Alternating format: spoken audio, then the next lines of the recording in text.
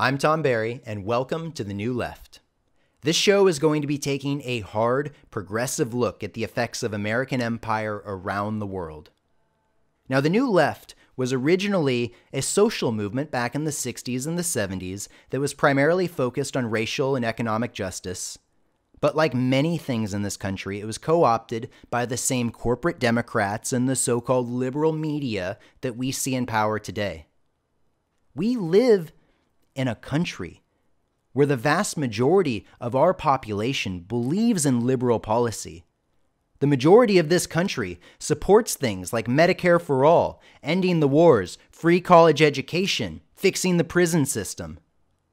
But instead, we find ourselves in a country that is the richest country in the history of the world, and 50% of our population cannot afford a $400 emergency. 40,000 Americans die every year because they do not have access to health care and no one will hold out a hand to help them. Like many of us, I woke up after the 2016 elections and after watching Bernie Sanders get cheated in the primaries. And it was thanks to shows like Jimmy Dore and Kyle Kulinski and Jamarl Thomas that I was able to wake up and figure out what the fuck was going on. Because the truth is is that we're out of time and we are facing the greatest threats of our generation climate change and government corruption. We are fighting for our very future.